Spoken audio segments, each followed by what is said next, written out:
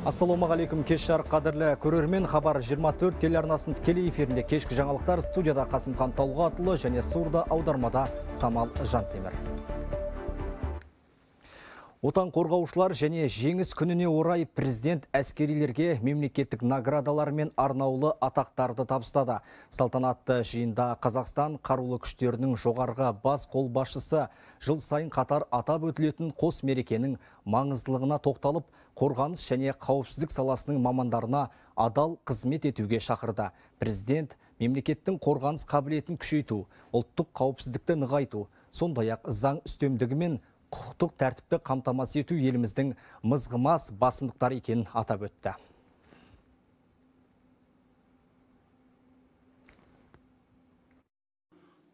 Қорғаныс саласының барлық қызметкерлерінің басын қосқан мерекелік жиын бұл. Салтанатты шараға мемлекет басшысы, қарулы күштердің жоғарғы бас қолбасшысы Қасым Жомарт Тоқаев қатысып, бұл күннің тағылымдық мән мазмұнына тоқталды.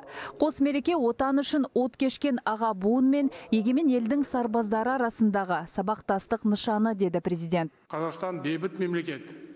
Біз барлық елдермен достық қатынас орнаттық мемлекеттер арасындағы кез келген мәселені бейбіт жолмен шешу керек деп санаймыз. Дегенмен қансыз отыруға болмайды. Барлық жайдағы сақадай сай болуымыз айрықша маңызды.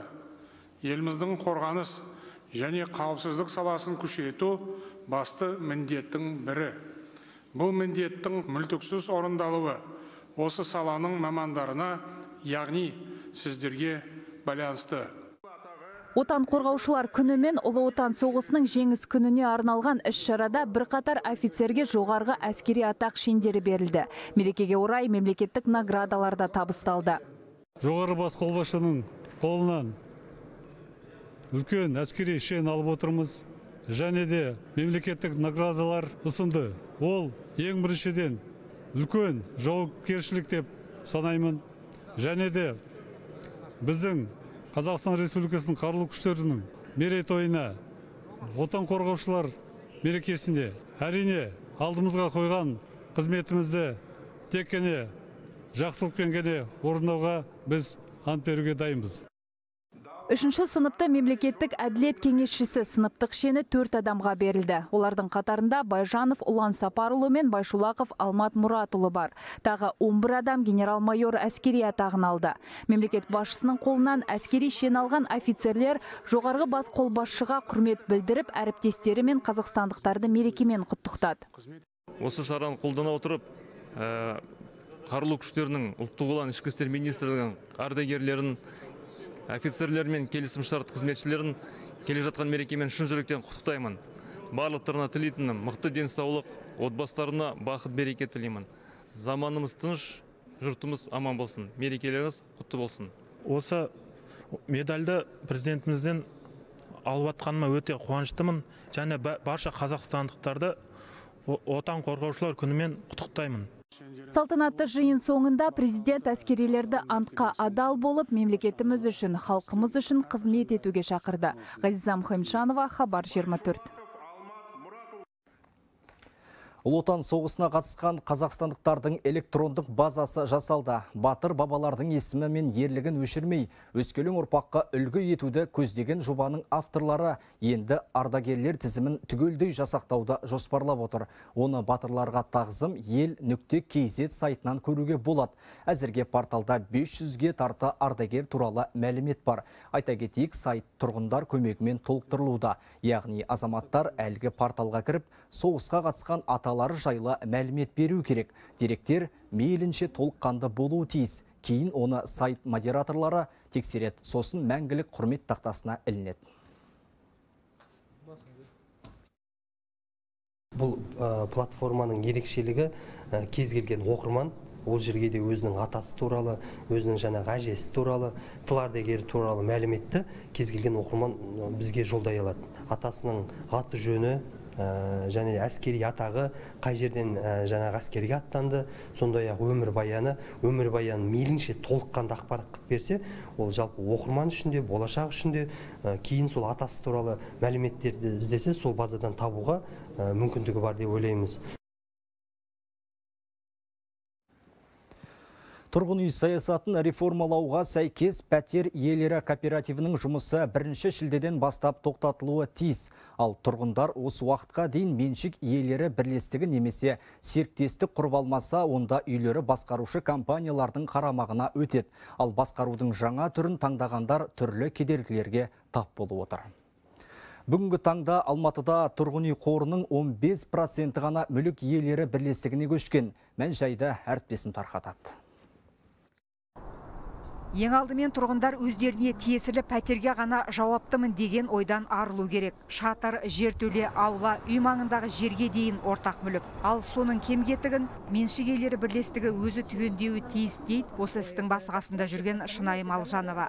Шынайымның қарамағындағы үй 30 жыл бұрын салыныпты. Оның айтуынша, жұмыс жүйелі болу үшін бірінші кезекте тұрғын үй қорының құжаттарын қалпына келтіріп, мемлекеттік тіркеуді жаңалау керек. Оған бүкіл мекеме араласуы қажет акт на землю, кондоминиум. Жер актісі, кондоминиум, техникалық паспорт, инженерлік жүйенің сызбасы, есептегіш құралдың құжаты. Осы сияқты құжаттар өте көп. Мұның көбі пәтер иелері кооперативінде толық емес, ал әкімдік мұның бәріне қатысы жоқтай кейіп танытады. Мен өзім меншік иелері бірлестігінің төрағасымын. Оны құру бізге оңайға соққан жоқ. Өз басым реформаны толық қолдаймын. Бірақ жергілікті әкімдіктен, мемлекеттік органдардан барынша қолдау болмаса, іс алға баспайды айжан мусина кейіннен бой көтерген элиталық тұрғын үй кешенінің меншік бірлестігін басқарады. Ол жұмыстың ашық жүріп жатқандығына сенімді. Яғни адамдар неғұрлым белсенді болса соғұрлым тәртіп орнайды. Ортақ мүлікке қызығушылығы жоғары болады деген пікірде.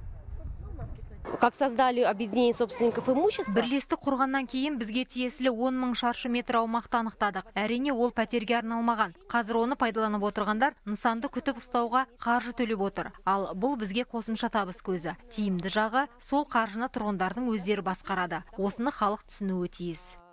Еліміз бойынша ең үлкен тұрғын үй қоры алматыда. Соңғы дерек бойынша қалада 9 мыңға тарта көп қабатты тұрғын үй бар. Соның жеті мыңнан астамы жаңа басқару жүйесіне өтуі тиіс болған. Қазір 1328 үй меншік иелері бірлестігін ал 4672-сі қарапайым серіктестік құрған. Меншік иелері бірлестігіне не болмаса қарапайым серіктестік басқару түрлеріне өткен кісілерде бұл ең басты мәселе бұл пәтер иелері кооперативінің бұрынғы үйді қызмет көрсеткен ұйымның сол үйге қатысты құжаттарын бермеуіне.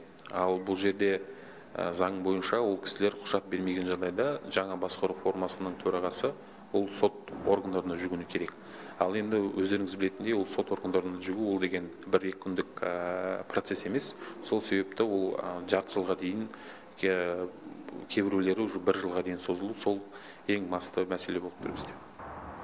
Жергілікті әкімдік өкілдерінің мәліметінше сегіз мобильдік топ жұмыс істеп жатыр. Бірақ бұл әзірге мәселені шешіп жатқан жоқ. Тұрғындардың белсенділігін арттыру үшін тегін оқыту курстары жетіспейді. Заңдық тұрғыдан көмек көрсетілмейді. Реформаны тұйыққа тіреп жатқан осы болуы мүмкін. Жуырда мемлекет басшысы тұрғын үй саясатын жетілдірудің жаңа тетіктерін қарастыруды тапсырды. Жергілікті билік оны қалай жүзеге асырады оны уақыт көрсетпек.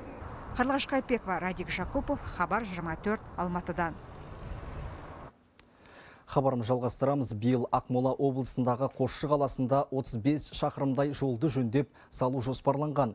Бұл үшін 3,6 миллиард теңге қарастырылды. Қазір қаладағы көше жол желісінің жалпы ұзындығы 185 шақырымға тең. Оның жартысынан көбіне асфальт бетон төселді.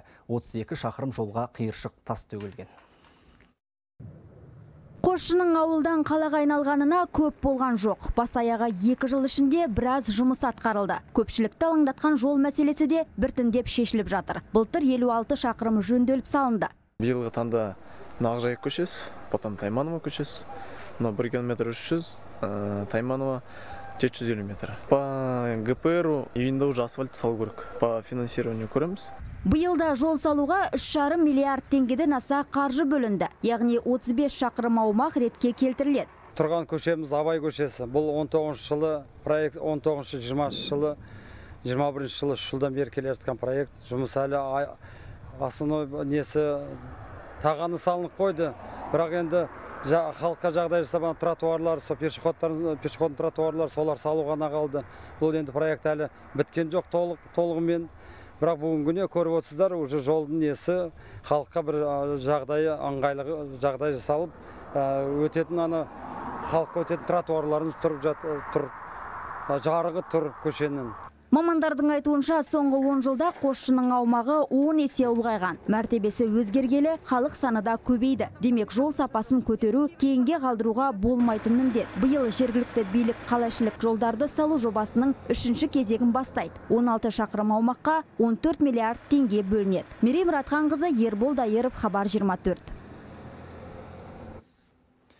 Алматы бизнес пен капиталдың орталығы бүгінде шағын және орта бизнес қала экономикасының 57,5 пайызын құрап отыр. Бұл туралы бүгін өткен ұлттық өнім көрмесінің ашылу салтанатында қала әкімі Ерболат Досаев мәлімдеді. Шара барысында бизнесті дамытуға қатысты бірқатар мәселелер талқыланды. Ұлттық өнім көрмесі Алматыда алғаш рет өтіп отыр. Көрмеге қатысқан 300-ден астам отандық өндірушілердің 30-ы алматылық компания. Қала әкімі Ерболат Досаев жыл басынан бері мегаполисте іскерлік белсенділік артқанын атап өтті. Бірінші тоқсанда Алматы іскерлік белсенділік бойынша Қазақстан өңірлері арасында бірінші орынға шықты развитие малого среднего бизнеса. Алматыдағы шағын және орта бизнесті дамыту қала әкімдігінің тұрақты назарында. Биылғы жылы мемлекеттік қалалық бағдарламалар аясында экономиканың басым бағыттары мен салаларындағы үш мыңнан астам жобаны қолдауға 44 миллиард теңге бөлінді. Направлениях и отраслях экономики. Кәсіпкерліктің дамуы тұтынушының таңдауына да байланысты. Үкімет басшысының орынбасары қаржы министрі ерлан жамаубаев көрмеде отандық өндірушіден аяқ киім сатып алды. Жыл сайын дәстүрлі түрде өтетін ұлттық өнім алаңында кәсіпкерлер тауарларын сатып жаңа серіктестер табуға мүмкіндік алды. Мы производим резиновые плитки біз балалардың ойын алаңына арналған резеңке төсемелер шығарамыз. Өнімдеріміз еліміздің барлық аймақтарында қолданыста. Сонымен қатар ресей қырғызстан әзірбайжан тәжікстанға экспорттаймыз. Даму қорының қолдауы арқасында жаңа өндіріс орнын ашуға мүмкіндік алдық. И стараемся сейчас в другие страны тоже заходить. Шағын және орта бизнесті қолдау аясында биыл даму қоры арқылы 20 мыңнан астам жобаны субсидиялау және 18 мыңнан астам жобаға кепілдік беру жоспарланған гүлжан көленқызы мұхит құдықбаев хабар 24 алматы Ал енді жаһан жаңалықтармен жалғастырсақ, бүгін Жапонияда жер сілкінді. Жапонияның метеорологиялық агенттігі алдымен зілзала күшін 6,3 балға бағалап, кейін оны 6,5 балға теңеді. Судзу елді мекенде табалдырықтан құлаған бір ер адам қаза тапты. Жарақат алып есінен таңған тағы екі адам ауруханаға жеткізілді. Осы аймақта орналасқан екі атом электр станциясына зақым келген жоқ. Жапонияда жер жиі сілкінеді. 2011 жылы болған жойқын зілзаладан кейін цунами соғып, бұл Фукусима атом электр станциясындағы апатқа әкелген болатын. 石川県能登地方を震源とする бүгін сағат 3-ке 18 минут қалғанда исикава префектурасының нота ауданында қуаты 6 балдан асқан зілзала болды жер сілкінгенде теңіз біраз толқыды бірақ цунами қаупі жоқ сондай ақ шика мен өзге де атом электр станциялары қалыпты жұмыс істеп жатқаны туралы хабар алдық Ал осы аптада Израиль мен Палестина оқ атпау тәртібін жариялады. Бітімге Египет, Қатар мен біріккен ұлттар ұйымы мұрындық болған. Тақауда Суданда да уақытша бітім жарияланған. Осының алдында осы Сауд Арабиясының өзде Иранмен қарым қатынасын жақсартқан. Арадағы ахуалдың түзелуіне үшінші елдер септігін тигізген. Тақырыпты әріптесім Жұлдыз Атагелдиева шартара байдарында жалғастырсын. Иә, Қасымхан, Сауд Арабиясы мен Иран арасындағы ахуалдың жақсаруына ықпалдасқан үшінші ел Қытай болды. Бұл туралы бірер секундтан кейін айтамын.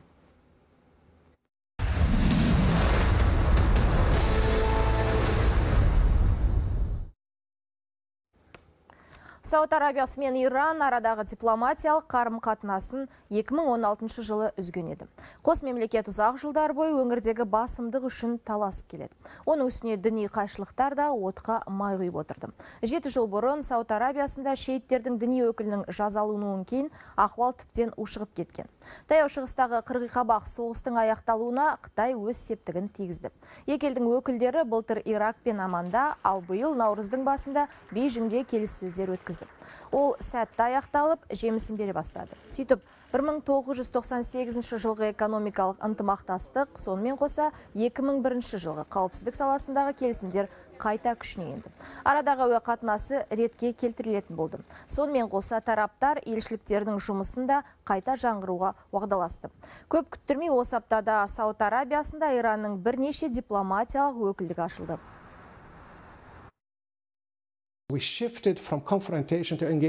Тараптар текетірестен ынтымақтастыққа көшті. Бұл ортақ күш жігерді қажет етеді иран да сауд арабиясы да өңірдегі тұрақтылықты қалайды сол себепті тараптар екі жақтың да көңілінен шығатын ортақ шешімдер іздеуге тиіс. Сарапшылар Қытайдың таяу шығыстағы белсенділігінің артуын аймақта ақш ықпалының әлсіреуімен түсіндіреді. Америкалықтардың Иранмен 2015 жылғы ядролық келісімді қайта жаңғырту талпыныстары әзірге нәтиже бермей отыр. ақш Сауд Арабиясы және Израиль арасында қарым қатынасты реттеуге ниетті. Өткен аптада Флорида губернаторы Рон Десантис Израильге барып қайтқан. Ал алдағы күндері Джо Байденнің ұлттық қауіпсіздік жөніндегі көмекшісі Джейк Салливан Эриатқа жол тартпақ. Таяу шығыстағы ахуал да әңгімеге арқау болуы мүмкін. Сауд Арабиясы Израильмен арадағы қарым-қатынасын ретке келтіру үшін америкалықтарға бірнеше талап қойып отыр. Мәселен, ақш пен қорғаныс саласындағы, сондай экономикалық байланыстарын нығайтуды қалайды. Сонымен қоса 2018 жылы өлтірілген жергілікті журналистің қазасына қатысты сыни пікірлерді тоқтатуды да сұрап отыр. Тағы бір талап Сауд Арабиясы өзінің ядролық бағдарламасына қолдау қажет дейді. Америкалықтар соңғысы ең күрделі сұрақтың бірі болып отырғанын айтады. Бұл мәселеге қатысты Израиль жағы әлі түсініктеме берген жоқ. Джо Байден әкімшілігі Сауд Арабиясы мен Израиль арасындағы қарым-қатынасты жақсартуға алғашқы қадам жасады. Израиль авиациясы үшін Сауд Арабиясының әуе кеңістігінің ашылуы соны айғақтап отыр. Арадағы ахуалдың ретке келтірілуі ақш ұлттық қауіпсіздігінің мүддесіне жатады. Сауд Арабиясының өзі де жанжалдасушы тараптардың татуласуына ықпалдасып жүр. Мәселен, жақында Суданда уақытша бітімнің жариялануына үлесін қосты. Жалпы сарапшылар араб түбегіндегі бұл мемлекет кейінгі уақытта әлемдік сахнадағы өз беделін өзгерткісі келетінін айтады.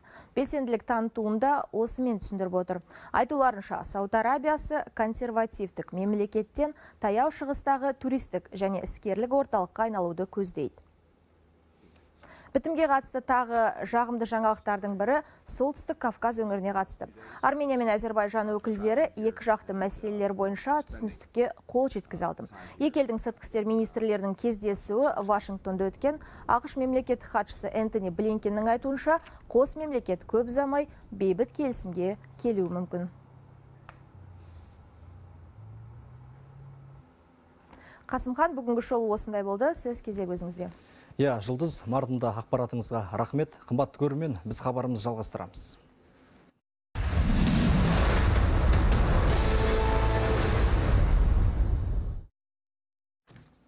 Ал енді ел жаңалықтарына оралса, Қызылорда облысында жастар арасында жұмыссыздық деңгейін төмендетуге бағытталған мүмкіндіктер керуені акциясы ұйымдастырылды. Жастар ресурстық орталығы мен жастар дамыту орталығы өткізген шарада кәсіпкерлікті өркендету бойынша мол мағлұмат берілді. Мамандар университет пен колледж түлектерін мемлекет тарапынан берілетін мүмкіндіктер мен қолдауларды кеңінен пайдалануға шақырды мүмкіндіктер алаңында 700-ге жуық жас буын өкілі тұрғын үй құқықтық қызмет жер мәселесі алимент өндіру кәсіпкерлік бағыттар бойынша мамандардан кеңес алды. Жәрмеңкеде жергілікті 22 мекеме 250-дей бос вакансия ал өзге облыстардан 2000-ға жуық жұмыс орны ұсынылды. Өзге қалалардан мұнай саласын және де мынау өздеріңізге белгілі және де мынау бүкіл қазақстанға белгілі казатомпро деген үлкен мекемеміз бар. Соған қарасты үш мекемеден қазір 600-ге жуық жұмыс орны ұсынылып жатыр. Қоныс аударамын деуші ниеті бар азаматтарға азаматшаларға толықтай мәліметті беріп бос жұмыс орындарын қазіргі таңда осы жастарға ұсынатын боламыз. Мүмкіндіктер алаңында жастарға ауыл аманаты бағдарламасымен екі жарым проценттік несие берудің тәсілін түсіндіруге айрықша мән берілді. Университет пен колледж түлектері қайтарымсыз грант алып бизнес жоспары құрып кәсіп бастаудың шарттарына қанықты. Алдағы уақытта барлық аудан аймақтарда шалғай елді мекендерде міндетті түрде осы керуен жалғасатын болады. Барлық жастарға өзіміздің жастар ресурстық орталығы барлық мүмкіндіктер жасап жатыр. Жастар категориясы биыл 29-дан 35 жасқа дейін ұлғайтылды. Аймақ тұрғындарының 30 процентін құрайтын 250 мыңға жуық кейінгі толқын өкілінің басым бөлігі білім денсаулық мәдениет әлеуметтік құқықтық экономикалық саяси қызметтерде жемісті еңбек етіп жүр. Ендігі міндет жастарды кәсіпкерлікке бет бұрғызу. Қамбар бекенов нұржан мұзарапшин айтмұхаммед байділдаев қызылорда хабар 24 Түркістан облысының Арыс, Отырар, Шардара сияқты бірнеше ауданында шіркей қаптап кетті. Әсіресе Көксарай су қоймасы мен Сырдарияның жағасындағы елді мекен тұрғындары жәндікке таланып жатырмыз деп дабыл қағуда. Күн ысыса зиянкестер көбейіп, жұрт талаға шығудан қалдық дейді. Қанатты жәндіктер тіпті жаңа туған төлдерді шағып, ел өріске мал шығарудан қалғандарын айтады.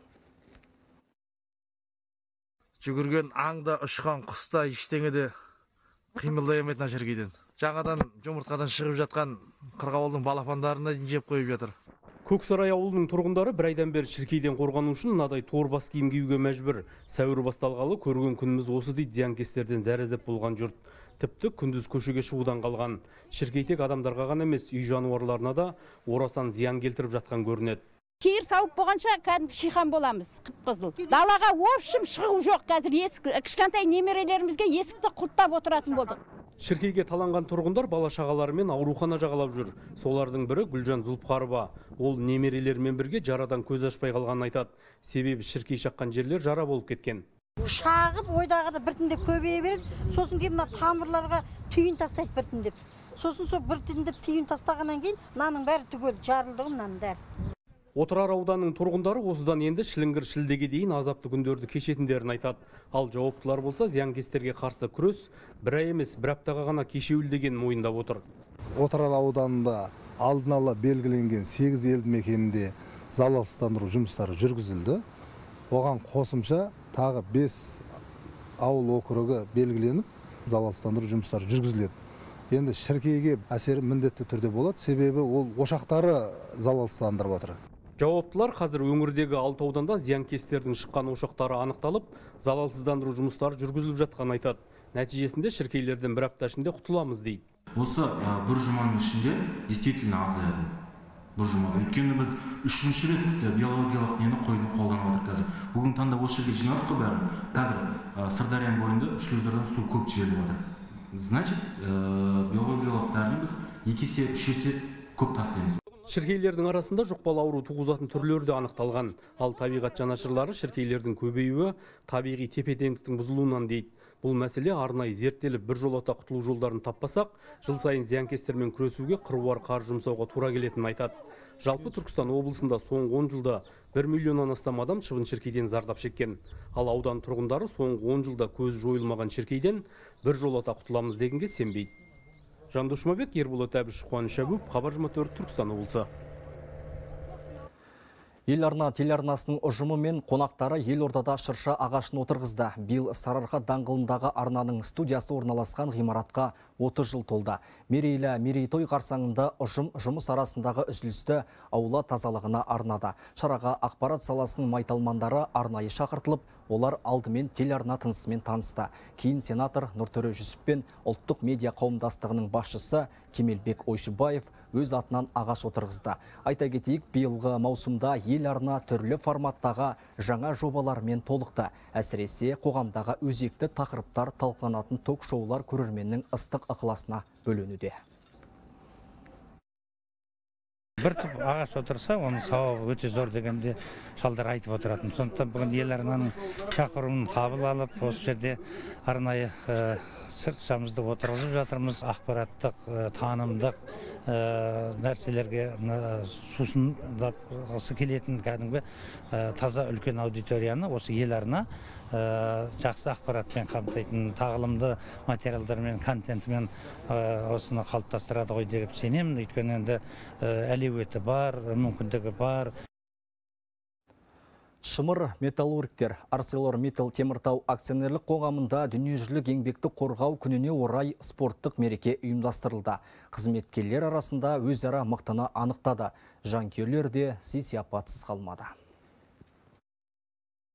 арселормиттал теміртау акционерлік қоғамының қызметкерлері үшін спорттық шаралар игі дәстүрге айналған жарыс қатысушыларына компанияның бас директоры владимир яблонский сәттілік тіледі Не секрет, что все наши работники, они всегда значит, привержены. біздің жұмысшыларымыз салауатты өмір салтын ұстанады. Өзіміздің әуесқой командаларымыз бар. Жарыстар біз салып қалаға тартып өткен спорт кешендерінде өтеді. Ал еңбекті қорғау күніне арналған сайыс жыл сайын ұйымдастырылады. Жергілікті билік өкілдері спортқа үнемі қолдау білдіретін арселормиттал компаниясына алғыс білдірді. В первую очередь хотел поблагодарить руководство ArcelorMittal Темиртау. арселор миттал компаниясының көмегімен қаламызда әлеуметтік нысандар салынды. Спорттық бастамаларға да зор қолдау көрсетіледі. Кәсіпорын жұмысшылары да шымыр. Сондықтан бәріне жеңіс тілеймін. Шараның өтуіне металлургтердің жақтау кәсіподағы да зор үлесін тигізді. Жарыс арқан тартыс футбол отбасылық сайыс және гір көтеру секілді спорт түрлерінен өтті. Всевозможно готовились, разминались, играли. жарысқа мықтап дайындалдық. осал қарсылас жоқ. Мұндай додаларға жұм болып қатысамыз. өйткені шынықсаң шымыр боласың.